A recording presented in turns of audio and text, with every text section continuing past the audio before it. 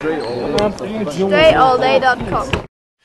What's up, everybody? Dre Baldwin, DreAllDay.com. I want to talk about uh, your game preparation, your mental game preparation, going into a game. As I know a lot of players had an issue of they don't really play as well in games as they do in practice or when they playing with their friends or when they just working out on their own. So what can you do before a game to get into that proper mind state?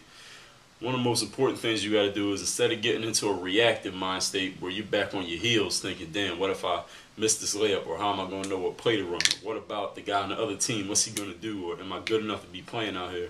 Put yourself in an aggressive mind state where you're going towards a situation where you're thinking to yourself, like, you got to tell yourself something like, all right, I'm going to get 10 rebounds this game. Or I'm going to dominate this game because I'm the best player out here. Or I got something to prove and I'm going to come out here and show everybody that I'm good enough to be out here. You got to find out, you got to find something that you can tell yourself before you go out there on the court.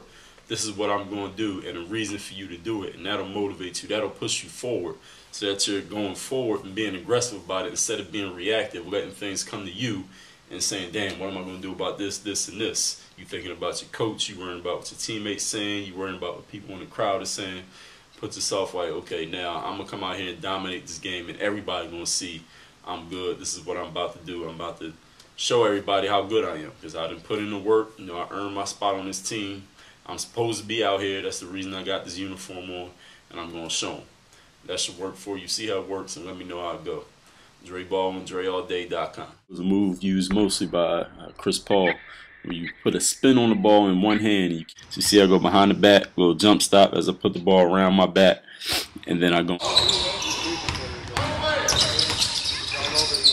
Hey, what?